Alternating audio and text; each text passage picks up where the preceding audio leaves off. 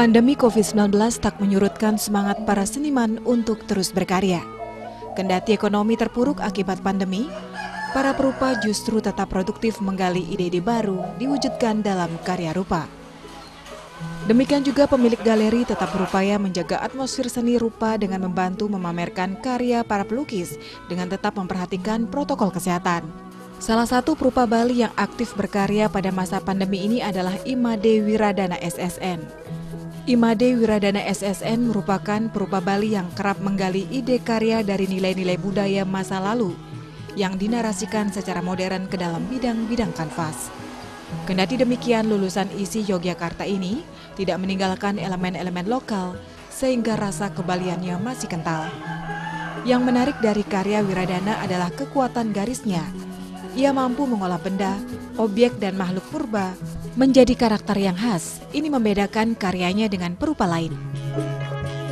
Wiradana kecil sesungguhnya tak membayangkan dirinya akan menjadi pelukis, sebab ia sesungguhnya punya bakat menari. Sejumlah tarian dikuasai, salah satunya adalah tari baris. Kini pun ketika menjadi pelukis kenamaan, ia juga tetap aktif ngayah menjadi penari rarung saat pujewali. Ketertarikannya melukis bermula ketika menyaksikan perupa Pandai Supade melukis yang saat itu indekos di samping rumahnya. Berkat dorongan pelukis akademik asal Buleleng itu, Wiradana tertarik mengasah kemampuannya melukis. Setelah menamatkan pendidikan di SMPN 8 Denpasar tahun 1983, Wiradana membulatkan tekad melanjutkan pendidikan di SMSR Batu Bulan Gianyar. Lulus dari SMSR dengan berbekal semangat ia melanjutkan kuliah di ISI Yogyakarta. Empat setengah tahun waktu yang ditempuh untuk menyelesaikan pendidikan seninya di kota Gudeg itu. Ia kemudian pulang ke Bali membawa bekal pendidikan seni yang memadai. Belum setahun di Bali, Wiradana pun mempersunting pujaan hatinya Niputu Witari Dewi. SD sih yang nari sebenarnya. Uh, nari bahkan dikhususkan sama bapak di di HSR Himpunan Seniman Remaja sampai nari ke hotel lalu matahari. Terus begitu ini lama-lama udah menginjak SMP itu di tetangga saya ada yang kos seniman gitu loh Pak Pandi Supado saya sering lihat orang melukis kok bagus lukisannya gitu loh. Saya dongkrongin tiap hari di sana. Terus dia bilang kamu kok nari deh kok nak nyari uh, pelukis ya gitu dia. Kok gitu pak? Gitu tak bilang. Iya kalau nari kamu kan makin tua nak laku kamu gitu. Pikir-pikir benar juga gitu. Kalau pelukis ya apa nih? Makin tua makin mahal gitu. Akhirnya uh, gelisah dan nih gundah gulana gitu loh. Akhirnya tancap gas begitu. Lulus SMP saya meyakinkan diri lah ke seni rupa SMSR tahun 96 lulus eh 86 lulus langsung ke SMSR di batu bulan ya. Nah itu udah di batu bulan dan ya dengan teman-teman yang di sana udah pada cakap semua. Kita dari nol juga bahkan selalu dapat CB gitu loh. Jarang dapat B begitu kelas 4 tuh baru kita tahu oh ini seni kayak apa dengan belajar dengan berlatih terus akhirnya ya bisa lancar sampai nilai A, BA gitu. Nah semakin mantap lah kita langsung begitu lulus langsung ke Jogja. Jogja dengan cita-cita yang tinggi.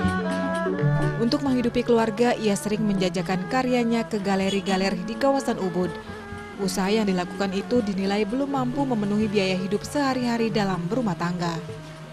Wiradana kemudian memutuskan melamar pekerjaan di salah satu perusahaan agar pendapat penghasilan tetap dengan beralih profesi menjadi pegawai kantoran. Keinginan itu tentu tidak disetujui sang istri. Ketika hendak menuju tempat perusahaan untuk melamar pekerjaan, Wiradana harus meninggalkan kembali pakaian rapi lengkap dengan sepatu yang dikenakan karena dicegat sang istri. Istrinya tak sepakat dengan keputusan yang diambil Wiradana tersebut. Alasannya, sudah jauh-jauh belajar seni ke Yogyakarta. Ketika di Bali ingin berhenti melukis dan beralih profesi. Agar Wiradana tetap setia pada profesinya, istrinya mendorong agar ia berani berpameran tunggal. Dengan menggunakan BPKB kendaraan orang tua sebagai agunan, Wiradana disuruh meminjam uang untuk dipakai modal pameran tunggal di Yogyakarta. Setelah mendapat dana pas-pasan, ia pun menyiapkan sejumlah lukisan. Karena keterbatasan dana, warna yang digunakan pun dari kapur siri dan arang. Bersama 60 karyanya, Wiradana akhirnya naik truk ke Yogyakarta. Dari situlah nama Wiradana mulai dikenal. Tawaran pameran pun berdatangan. Suksesnya pameran tunggal perdana itu tak terlepas dari bantuan pencinta seni Dr. Oh Hung Chien dan Widayat. Pameran pertama Wiradana itu dibuka Profesor Dr. Madi Bandem yang saat itu menjabat sebagai Rektor ISI Yogyakarta. Sana kita lagi kendalanya.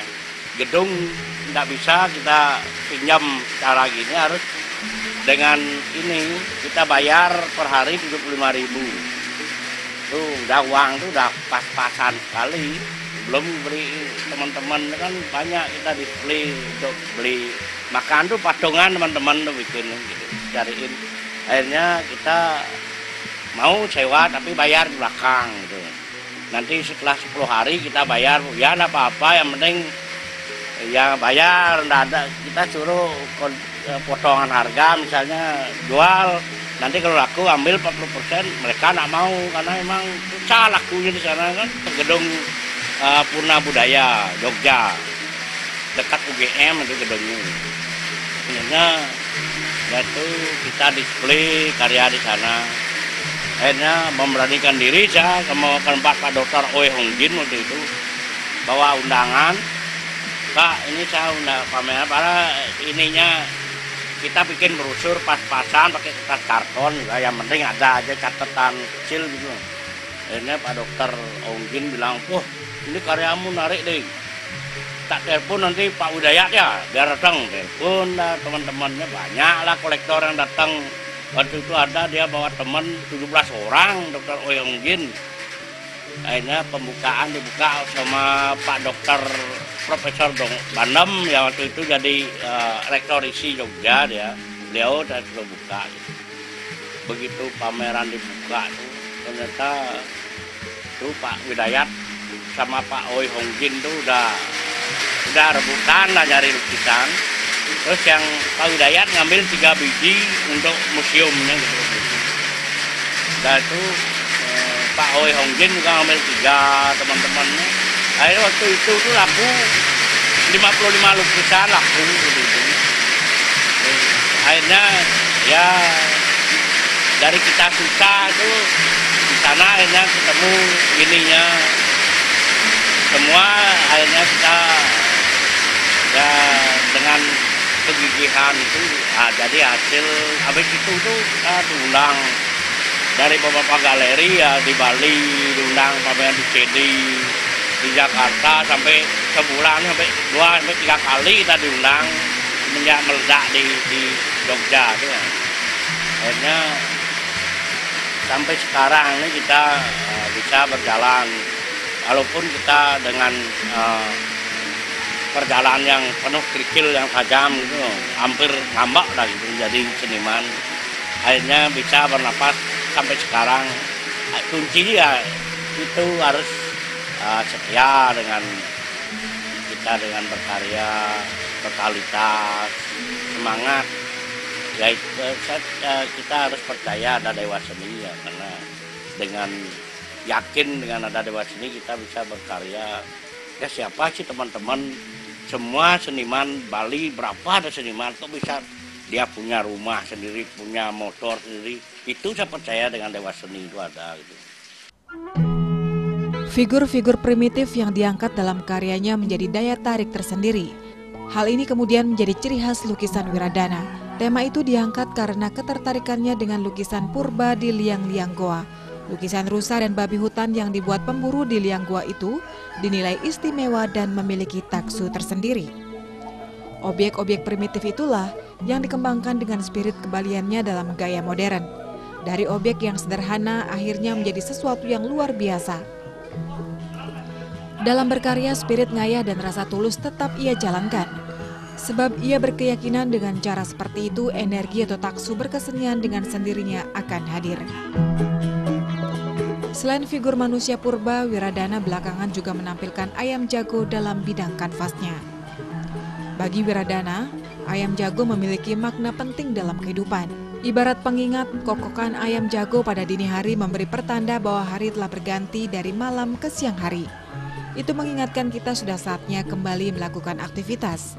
Di samping itu, ayam jago di mata Wiradana sangatlah istimewa. Dari ujung kepala hingga ekor membuatnya gelisah dan berupaya menghadirkan dalam karya rupa. Itulah karena saya waktu di Jogja itu sebenarnya udah mulai uh, waktu tema atau TA itu ya udah mulai ke primitif pas mau TA saya ngambil ke, pustaka lihat-lihat eh, ini buku-buku ya nah apa yang belum kita ini dapat ya. Kadang-kadang teman-teman juga banyak sih yang mengangkat eh, Bali sebagai tema bisa ada senjata sebagai ini kehidupan masyarakat Bali. Itu bisa tiba-tiba otaknya kok ke primitif gitu loh. Oh, saya bawa yang yang bernuansa global adalah yang global primitif. Itu kan di seluruh dunia ada gitu siapa sih nggak ngerti tahu primitif misal di Perancis di mana-mana tuh akhirnya saya ambil yang di liang-liang udah. Padahal saya belum sempat ke sana sih cuman lihat di buku bahwa ini ada karakter gua tuh saya lihat memang sangat menarik dia bentuk itu dan saya baca-baca bahwa orang di sana tuh melukis mereka melukis itu tidak ada beban apa-apa ya. Lihat dia melukis babi misalnya. Ternyata tujuan sederhana aja uh, dengan harapan saya berburu dapat babi hutan ini kok dia pengharapan lukisan itu saya di sana tertarik melukis rusa mereka. Besok berburu dapat rusa dan benar gitu loh. Kayak lama lera tuh mereka dipersembahkan. Malamnya pakai lilin pakai sajen mereka biar pausnya lewat karena lewat pausnya apa sebenarnya energinya itu saya, saya amat uh, membuat gelisah itu. Oh ternyata ada energi lain itu yang harus kita percayai bahwa itu uh, mempunyai kekuatan sangat dahsyat sekali ya. Saat sana saya mulai bahwa hal yang sederhana itu bisa jadi luar biasa kalau kita yakin dan total mengerjakan. Akhirnya saya mulai deformasi dari sana dan mulai bentuk-bentuknya. Karena memang bentuknya unik sih sederhana bikin kita tanpa ada uh, perspektif bebas dari perspektif bebas dari volume entah kita mau spontan ke anak-anak no problem. Makanya kita fokusnya ya spontan dan gregetnya yang tinggi akhirnya. Dengan kita melukis itu juga walaupun kita melukis jual yang leang inspirasi dari sana ternyata kebalian kita tidak pernah hilang tetap kita bawa tahu orang itu wah ini Bali ya kenapa dia bisa lihat Bali itu ternyata Bali itu tidak harus uh, visual saja kita ungkapkan spirit Bali itu. Wiradana berharap pada masa pandemi COVID-19 ini seniman tetap semangat berkarya. Itu sudah dibuktikan oleh para perupa di masa pandemi, banyak karya dihasilkan oleh seniman. Pameran lukisan pun dilangsungkan di sejumlah galeri.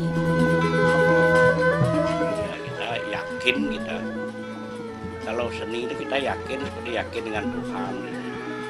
Apa yang kita uh, yakini pasti benar-benar ada gitu. Makanya kan tidak pernah risau. Kemarin mulai pandemi orang gelisah banyak gitu. Saya tetap ya kalau tidak ada kanvas di tembok pameran tetap ada pameran kita walaupun uh, orang dibatasi kemarin di di Alila saya pameran. Seninya terus di Santrian sip setiap saat terus uh, yang on di Bidadari. Itu tetap kita jalankan sebagai swadharma jadi seniman. Terus janganlah kita pakai alasan pandemi itu gitu om. Oh, pandemi udah bisa berkarya udah bisa gini ya jalanin aja. Anggap aja ini ujian Tuhan ya gitu. Ujian Tuhan. Kita tuh sudah dilahirkan harus ada ujian-ujiannya ya entah besar kecilnya kita yang ini tetap uh, kita. Makanya teman-teman di sini kan banyak yang ngumpul ngomong kalau nggak bisa gini kita ngobrol dulu ngobrol. Kadang-kadang ke laut kita on the spot ke Indramayu sama teman-teman. Terus ada waktu gini mancing sama kawan-kawan. Ya dijalanin aja. Terus abis ini kita teman-teman hampir tiap hari ada aja tiga empat orang sih nongkrong ngobrol. Dan tetap kasih spirit ya. Saya spirit. Wah jangan teman tuh datang kita bilang oh sepi sekarang. Mentalnya kan jatuh dia tenang aja besok ada bum bum lukisan. Nah, gitu terus harinya semangat dan uh, terbawa gininya gitu loh mentalnya terbawa. Akhirnya mereka tetap berkarya saya lihat teman si si Anyon Liastro yang sering ngumpul sini si Rumi Palguno banyak lah ada ada Armiko akhirnya kita bikin lah kayak kemarin si Kadek ngajak kita teman-teman di Jepun Residen nih untuk uh, bikin lampion kokokan di dia di mana ya bikin aja nanti kita kerjakan bersama gitu. akhirnya ya walaupun pandemi kita tetap jalan. Bagi pecinta seni Dr. E Hong Jin, karya Wiradana mempunyai daya tarik estetis yang mantap. Unsur-unsur dekoratifnya kuat, oleh karena itu karyanya memiliki daya pancar yang tinggi. Wiradana tidak meninggalkan elemen-elemen lokal, sehingga rasa kebaliannya tetap ada. Gaya yang dua dimensional dan tidak mengandung perspektif itu adalah gaya khas lukisan Bali tradisional. Namun oleh Wiradana, hal itu telah dimodernkan. Selama karirnya Wiradana beberapa kali telah melakukan perubahan. Ini menunjukkan sifatnya tidak statis, tetapi selalu mencari hal-hal baru. Sifat ini sangat menguntungkan perkembangan selanjutnya. Ia yakin Wiradana tidak mandek, tetapi selalu bereksplorasi, berkembang dan merespon perubahan zaman yang semakin hari semakin cepat. Karya Wiradana menggunakan daya tarik estetik yang mantap, unsur-unsur dekoratif yang kuat, dan oleh karena itu mempunyai daya pajang yang tinggi. Samping itu, Wiradana tidak meninggalkan elemen-elemen lokal sehingga rasa kebaliannya Anda. Maka banyak kolektor luar negeri menyukai karyanya. Gaya yang dua dimensional dan tidak mengandung perspektif itu adalah gaya khas lukisan Bali tradisional namun yang oleh Wiradana telah dimodernkan. Selama karyanya, Wiradana telah mengalami beberapa kali perubahan. Ini menunjukkan bahwa sifatnya tidak statis, tapi selalu mencari hal-hal yang baru. Sifat ini sangat menguntungkan untuk perkembangan selanjutnya.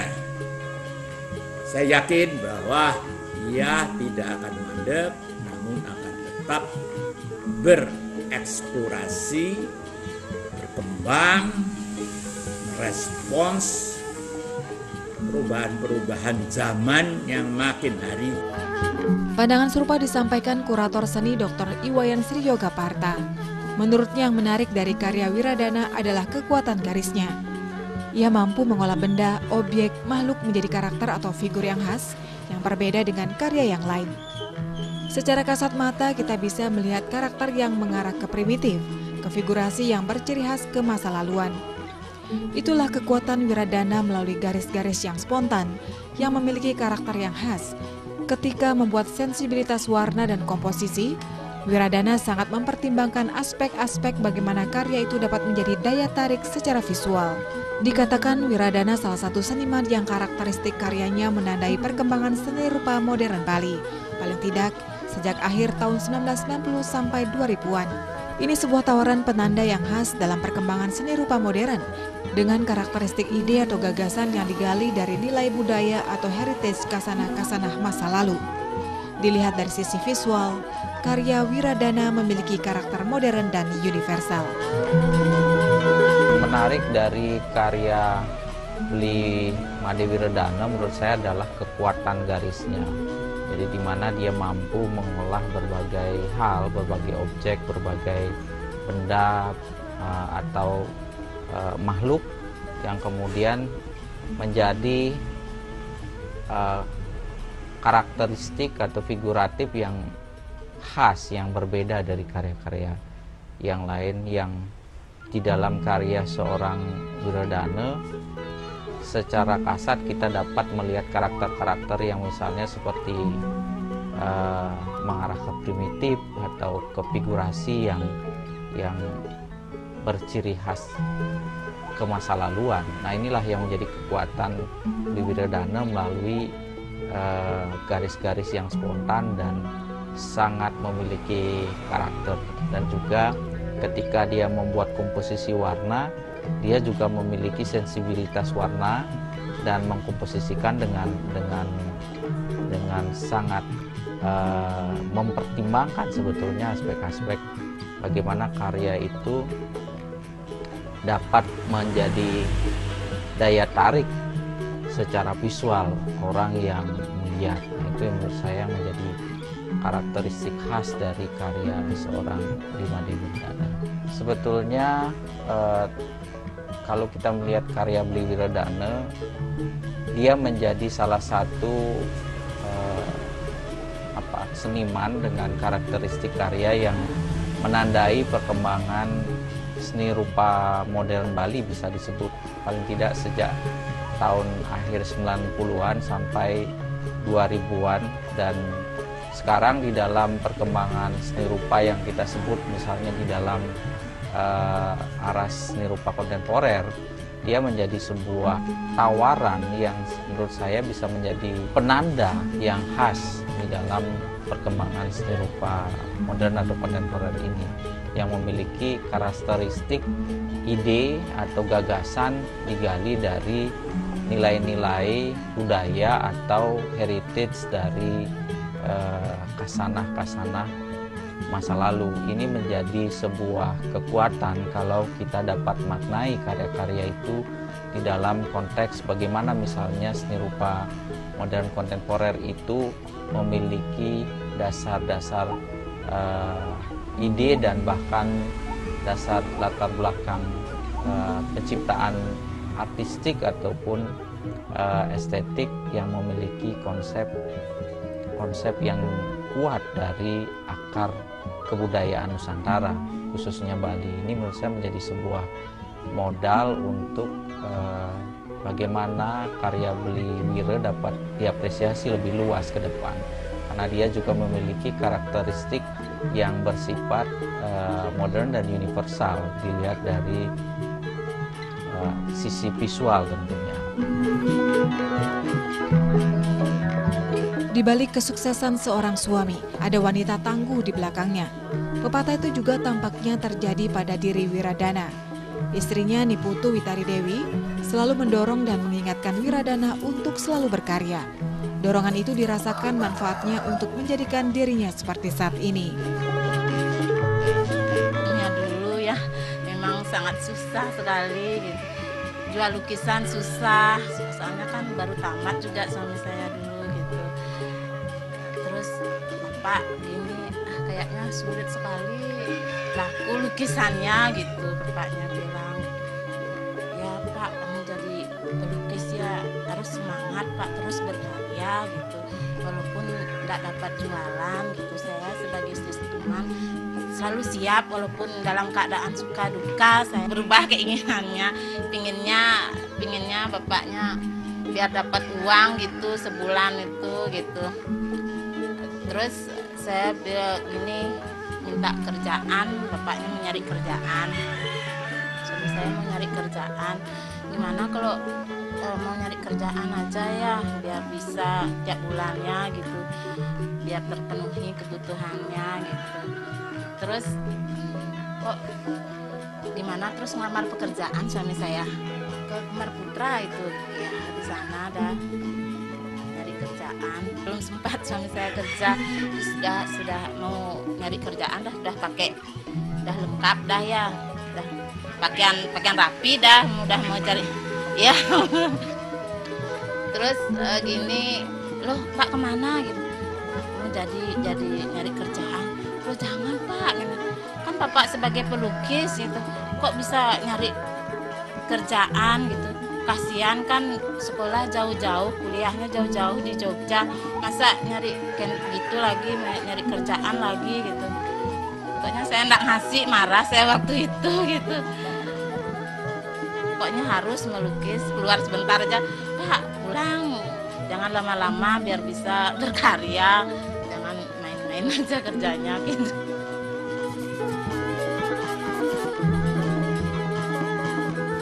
Imade Wiradana lahir di Denpasar 27 Oktober 1968. Pria asal Banjar Tatasan Kelot, Donje, Denpasar ini merupakan anak keenam dari tujuh bersaudara putra pasangan almarhum Ketut Rina dan Ninyoman Aplun. Menikah dengan Niputu Witari Dewi, memiliki dua orang putra dan satu putri, yakni Wahyu Wirananta, Made Dharma Negara dan Oming Sri Danu Madewi. Ia tercatat beberapa kali pameran tunggal, di antaranya tahun 1999 pameran tunggal berjudul Imajinasi Purba di Gedung Purna Budaya Yogyakarta. Pada tahun 2000 ia pameran tunggal bertajuk Bentuk-bentuk Purba di DCD Ubud Bali. Tahun 2004 ia pameran tunggal bertajuk Global Convention on Peace di Asoka Hotel Belgia. Wiradana juga banyak melakukan pameran bersama baik di Bali, luar Bali maupun di luar negeri, seperti Shanghai Art Fair China, Indonesian Contemporary, Galeri MBC Korea, Pertukaran Budaya Indonesia Korea di BIC Galeri di Busan, South Korea, Asia Art Biennale Hong Kong at Central Hong Kong Library, Bama Art Fair in Busan, Bank Art Fair Singapore, City Art Fair Hong Kong, Guangzhou Art Fair, Daegu Art Fair, dan Seoul Art Fair. Penghargaan yang diterima antara lain karya lukis dan sketsa terbaik isi Yogyakarta tahun 1990 dan 1991, finalis Philip Morris tahun 1996, 1998, dan tahun 2000, dan Gold Medal Art Asia Biennale Hong Kong 2017, Award from Indonesian Ambassador at Belgium 2006, Award from National Museum Qingdao Beijing 2017, dan Award from Komjen Indonesia Tiongkok 2017.